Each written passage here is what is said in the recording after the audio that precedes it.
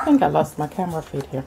If there is anything which is a pain in the butt is a teething puppy which is cutting its teeth on everything it's not supposed to, including your fingers and your toes and your shoes and your purse and the kids' toes and, you know, your furniture, upholstery, table legs. Having a raw bone gives them something to do. It wears them out.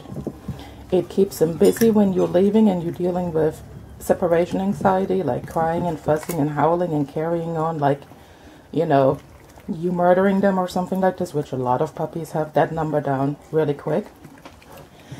It helps with the teething also when they are old enough to cut their baby teeth. Yes, puppies have baby teeth and they will shed the baby teeth when they are about um, roughly between three and a half to five months. It depends on the breed, it depends on the individual puppy.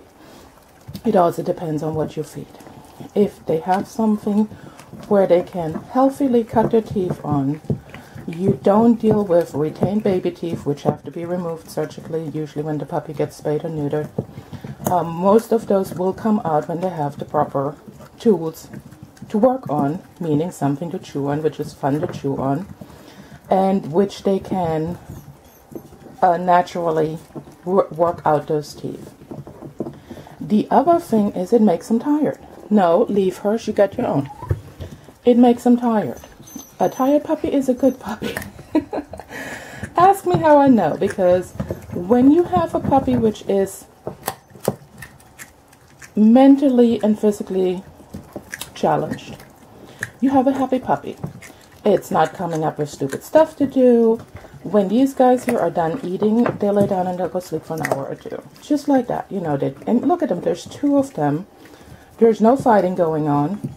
Uh, there's no stealing. Well, sometimes there is when I'm not paying attention. But the little one kind of takes care of her own self. And when we are done, or rather when they are done, I will show you what's left over. Talk to you in a bit.